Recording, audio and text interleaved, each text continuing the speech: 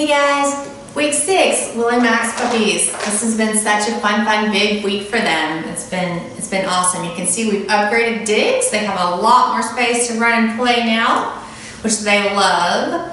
We've added this puppy slide for them. They took to that immediately. It has steps on one side. They try to play with this little ball hanging off the side, and they climb the ladder. They also like to get underneath it, underneath the little slide, and sleep.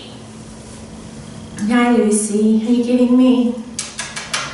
So they love that toy. I've been hanging toys like this off of the side of the pen so they get to tug and play with them. They also continue to have loose toys in here. Um, so they spend a lot of time trying to get the balls out of this and we put them back in. It's a hide and seek toy that they like. Mommy keeps bringing tennis balls in the pen and taking them back out. She, Willow, is crazy for tennis balls, so she brings them in here all the time. But they're growing like weeds. They're all super healthy. They're all doing really, really good. We have a big week this week and that we get our first vet appointment on Thursday. They'll get their first baths on Wednesday. So looking forward to that. I know they'll do great. Um, also starting this weekend, I start introducing them to car rides other than just the vet. So we drive them around in the neighborhood in a crate for, um, like start out with five minutes the first day. The second day we might do seven minutes. The third day we might do eight or 10 minutes. Um, just to slowly build up all of their time and getting, getting them used to the car. So it should be easy ride home for you. It shouldn't be anything scary. What is it, Lucy? Hey. But they're all playing great together. They do really, really well. Most of these guys are using the litter box. I would say probably 80% of the time right now, maybe a little more. They're doing really good with it, so I'm super proud of that. They're picking up quicker than a bunch of my litters do. What? I think Lucy wanted a little extra loving.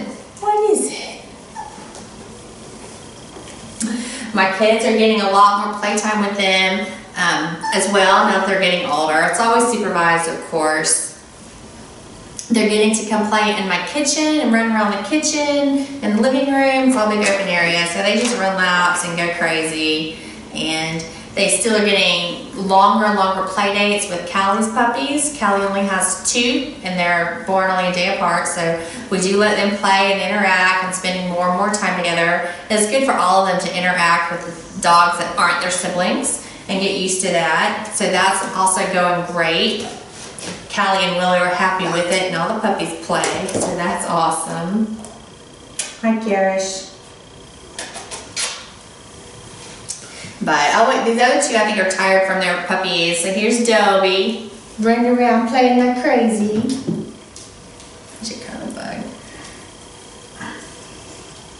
Marcella's sleeping. Hi, baby girl.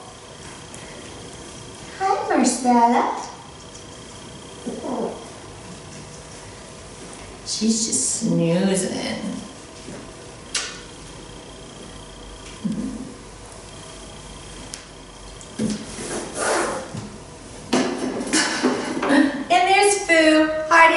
Slide.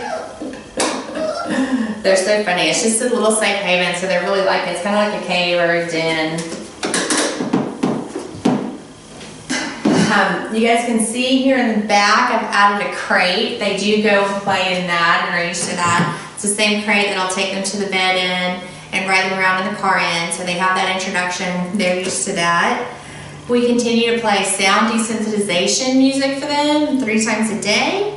They still go to sleep at night listening to music. We kind of, right now they're listening to just normal pop radio, top 40 kind of stuff.